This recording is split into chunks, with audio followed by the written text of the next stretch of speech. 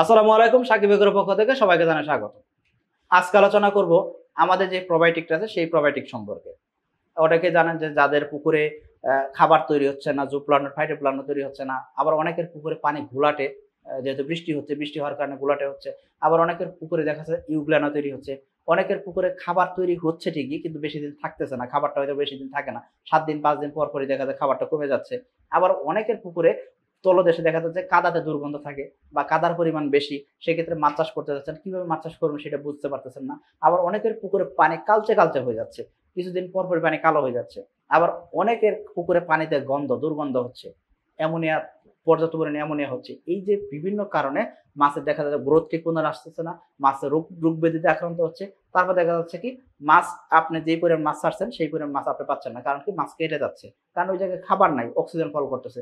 দেখা যাচ্ছে ওই জায়গায় পানি গুলাটে গুলাটে পানির ভিতরে দেখা যায় অক্সিজেন কম থাকে। তারপর দেখা যাচ্ছে মাছের ওই কানপুর ভিতরে দেখা যায় এই যে গুলাটে পানির ভিতরে যে পলিটা থাকে, সেই পলিগুলো আটকে যাচ্ছে। নানান কারণে কিন্তু আপনার মাছ কিন্তু মারা যাচ্ছে। তো বা মাছের গ্রোথ আসতেছে না বা আপনি সঠিক পরিমাণ মাছ আপনি পাচ্ছেন না অথবা আপনার সঠিক সময় বাজারজাত করতে যাচ্ছেন, কিন্তু সেই বাজারজাতটা করতে পারতেছেন না, কারণ কি গ্রোথ ঠিক মতন আসে নাই। তো সেই বিষয়ে আলোচনা করার চেষ্টা করব। আমাদের এই প্রোবায়োটিক নিয়ে আপনারা জানেন, আমি গত দুই মাস যাবত ভিডিও দিতে পারিনি, কারণ এত পরিমাণ সেলস ছিল যে আমি একটা ভিডিও দিব, সেই ভিডিও দেওয়ার আসলে মানে কি বলব, যে ভিডিও দিলে দেখা যাচ্ছে যে এর সেলসটা আরও কয়েক গুণ বেড়ে যায়। তো আমি ভয়ে ভিডিও দিতে পারিনি। কারণ কি? আমাদের যারা পুরাতন খামারি আছেন যারা রিপিট খামারি, যারা রেগুলার প্রতি মাসে প্রোবায়োটিক নিয়ে থাকেন, তাদেরকে প্রোবায়োটিক দিয়ে কুল পাইতেছি না। আর আমাদের তো উৎপাদনটা আমাদের যেহেতু লিমিটেড কারণ আমরা নিজস্বভাবে উৎপাদন করি তো এই উৎপাদনটা যেহেতু আমাদের নিজস্ব হইতেছে, কারণ কি এখানে আমাদের বেশ কিছু অবশ্যই ক্রাইটেরিয়া মেনটেন করে উৎপাদন করতে হয়। খালি কোয়ালিটি চেক করে না দিয়ে মাল ছাড়িয়ে দিলাম, এরকম তো হইতে পারে না। অবশ্যই কোয়ালিটিটা অবশ্যই ইম্পর্টেন্ট জিনিস। আর আপনারা যেন সাকিব এগ্রোর পোনা বলেন, যে কোনো জিনিসই বলেন না কেন, সাকিব এগ্রো থেকে যে জিনিসটা নেবেন, সেই আমরা কিন্তু কথা রাখার চেষ্টা করি।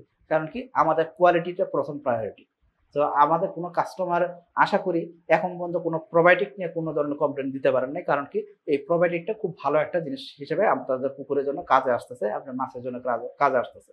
তো ইনশাল্লাহ এই প্রোবায়োটিকটা কীভাবে ব্যবহার করতে হবে? অনেক খামারি বাইরে আমাদের জিজ্ঞেস করে থাকেন যে কীভাবে ব্যবহার করব? এই প্রোবায়োটিকটা ব্যবহার করার নিয়ম হলো প্রতি শতাংশে দশ গ্রাম করে। যদি আপনার পুকুরের গভীরতা চার ফিট থাকে, সেক্ষেত্রে দশ গ্রাম। যদি পুকুরের গভীরতা ছয় ফিট থাকে, তাহলে পনেরো গ্রাম। যদি পুকুর গভীরতা আট ফিট হয়, সেক্ষেত্রে আপনার বিশ গ্রাম লাগবে। তাহলে মোটামুটি আমরা বুঝলাম যে শতাংশ হিসাব করে। এখন যদি আপনি বলেন যে আমি শতাংশ হিসাব বুঝি না ভাই, আমি এক একর জায়গাতে মানে একশো শতাংশ জায়গার জন্য আমি কতটুকু ব্যবহার করব?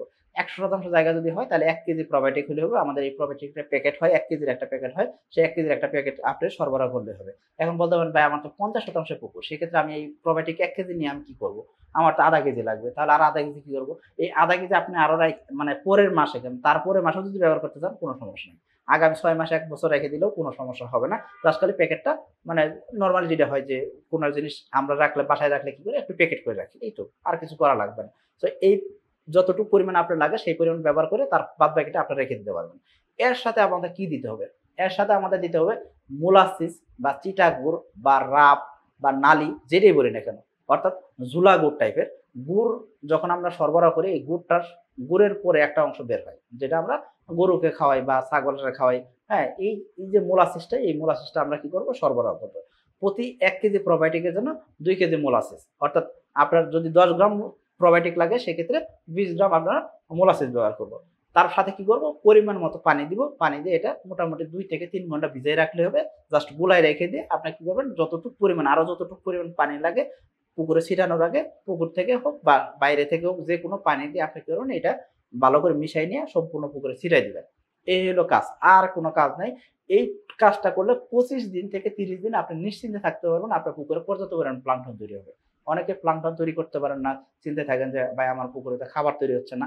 বাংলা মাছের খামারিদের আমি বলব যে, যারা প্রতি সাত দিন পর পর, দশ দিন পর পর বা তিন দিন পর পর সার ব্যবহার করেন, তাদেরকে এই এত ঘন ঘন আর সার ব্যবহার করতে হবে না। তারা হয়তো বিশ দিন, পঁচিশ দিন পর পর সার ব্যবহার করলে এই প্রোবায়োটিকটি ব্যবহার করে আর সার হয়তো বিশ, পঁচিশ দিন সার ব্যবহার করতে হবে না। আশা করি আপনারা বুঝতে পারছেন যে প্রোবায়োটিকটির কার্যকারিতা কেমন। আর আমি দেখবেন যে, আপনারা একটু খেয়াল করলে চ্যানেলে ঢুকে দেখবেন, গত দুই মাসের ভিতরে আমি ভিডিও দিতে পারিনি।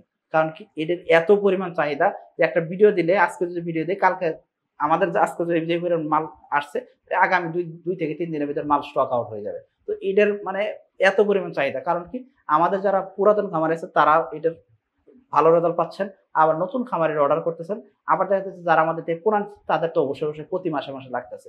তো আমি জন্য বলব আপনাদের এই প্রপার্টিটা নিয়ে টেস্ট করে দেখতে পারেন ইনশাল্লাহ কেমন রেজাল্ট আসে সেটা বুঝতে পারবেন।